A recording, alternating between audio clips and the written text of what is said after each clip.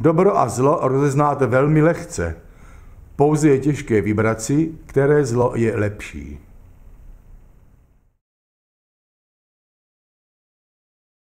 Kde ses poprvé setkal se satanismem?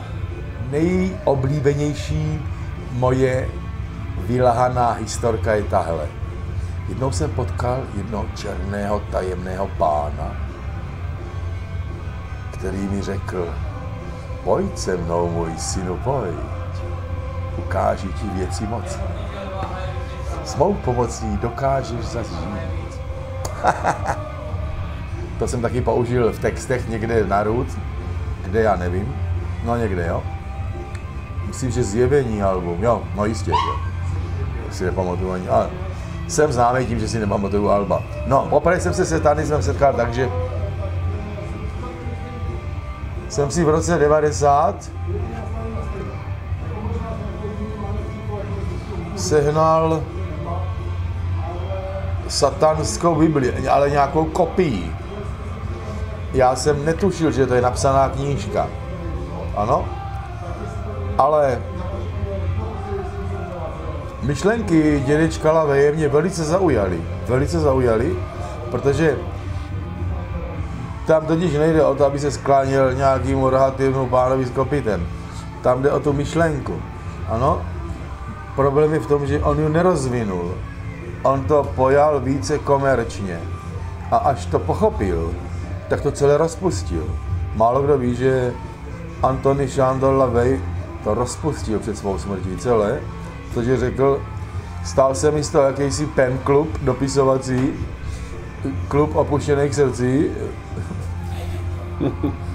Lonely Club Band, ano, a tohle jsem já neměl nikdy za cíl, ale zvrhlo se to takhle prostě v to. A on tu myšlenku nikdy nerozvinul. On popsal naprosté základy satanské filozofie, které jsou fantastické.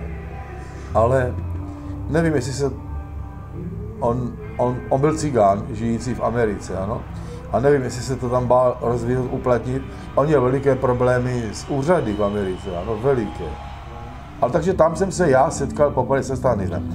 Mně se to líbilo, mně se ta myšlenka strašně líbila, že jsem věděl, že... Čím tě to tak okouzlilo? No ne, no, pravdou. Pravdou. Satanismus nelže.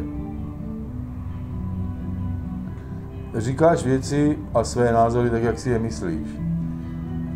Stěžení myšlenka satanismu je neklaněj se cizím bohům. Sám sobě buď bohem.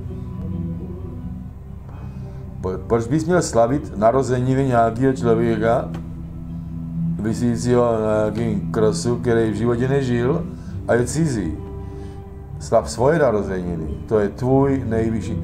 Co je větší tvůj svátek, než ten den, kdy ses narodil? Proto já třeba neuznávám lidi, kteří říkají, narozky já neslavím, no to je u mě největší blbec na světě.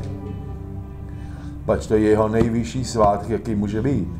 Ano, ale satanismus má mnoho a mnoho takových myšlenek. Mnoho a mnoho. Ano, škoda, že nebyli dovedeny do do nějakého konce. On, on všechno totiž nakousl. Lavej všechno nakousl, ano, ale nic nedokončil. To je největší průšvih, který udělal. Jo? A to byl vysoce inteligentní člověk, vysoce inteligentní. Žádný náš politik na něho nemá. Já když se s tím takhle setkal vlastně no, jak říkal z těch 90. letech na tom začátku, viděl jsi už od začátku v tom něco hlubšího, nebo jsi to bral jako takovou revoltu proti společnosti, proti konvencím? Ne, ne, ne, ne, zajistě, o tom právě mluvím. Je to filozofický postoj. Je to filozofický postoj k životu. Ano? Je to oslava vlastního ega, je to čistý egoismus. Ale pozor, spousta lidí si zaměňuje egoismus s egocentrismem, solipsismem. To je choroba. Egoismus je zdravý. Proč bych já na sobě měl makat?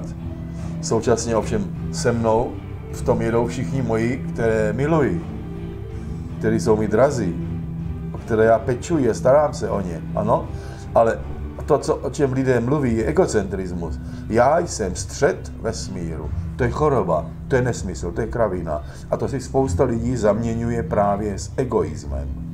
Egoismus je zdravý, a nutný. Pokud chceš něčeho v životě dosáhnout, musíš být egoista. Spousta slavných lidí lže, když říká, hlavně pokora, pokora, skromnost, to jsou takové kraviny. Kdyby ten dotyčný slavný člověk byl pokorný a skromný, tak o něm nikdo neví. Vůbec nikdo. Hmm. Musíš být exhibicionista, egoista, aby šel, aby stát na těch jevištích, divadelních prknech nebo hudebních, to je jedno kde. Musíš být šašek, musíš být komedian, musíš být egoist, musíš valit, musíš se rozdávat tím nová ovšem pokora a skoro vůbec absolutně nic společného. Takže všichni to lidé vědomě lžou. Komplikoval ti normálně ten vlastně satanismus jako takový někdy normálně tvůj život v běžné společnosti?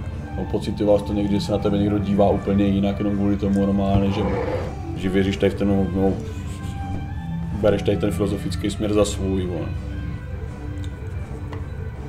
Protože myslím, že hlavně třeba v těch 90. letech, kdy to tady začalo, sice se uvolnila doba, ale... Já moc dobře vím, o čem mluvíš. No. Od samého začátku samozřejmě jsem s tím měl problémy. Dokonce jsem byl označen za satanistického špiona západu. K tomu jsme se strašně smáli.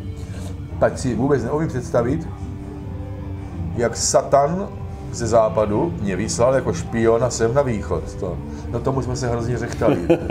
To byl obrovský mazec. Ale byl jsem samozřejmě, byl jsem za to, byl jsem za to potahován, celá kapela byla potahována. Ty jsi v 90. letech vlastně založil českou pobočku Církve Satanovi nebo někdy na začátku 90. let.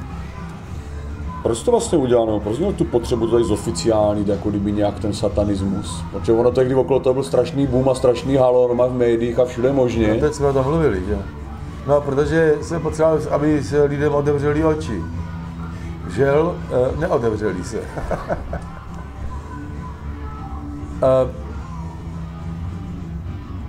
já si pamatuju, že taky v té době ty jsi říkal, že kdo neviděla na satanovi, tak je naprostý blbec. Ale to je satanistické heslo, to je heslo satanovo. Ano, ale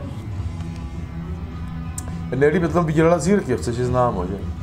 Strašením lidí o satanovi vydělali na tom takový obrovský peníze, že se to ani představí. Kdyby třeba eh, papež pořád vyřvává o tom, jak je potřeba nakrmit hladovějící, ale jeho trůn, na kterém sedí, eh, je z rizího zlata ulitý, váží skoro 8 tun. je pokryt asi 9 tisíci brilianty a drahými kameny Kdyby jenom ulomil to opěradlo, tak se nažere půl a hladovějící Afriky. Ano, takže tady máme to, o čem je satanismus, ano.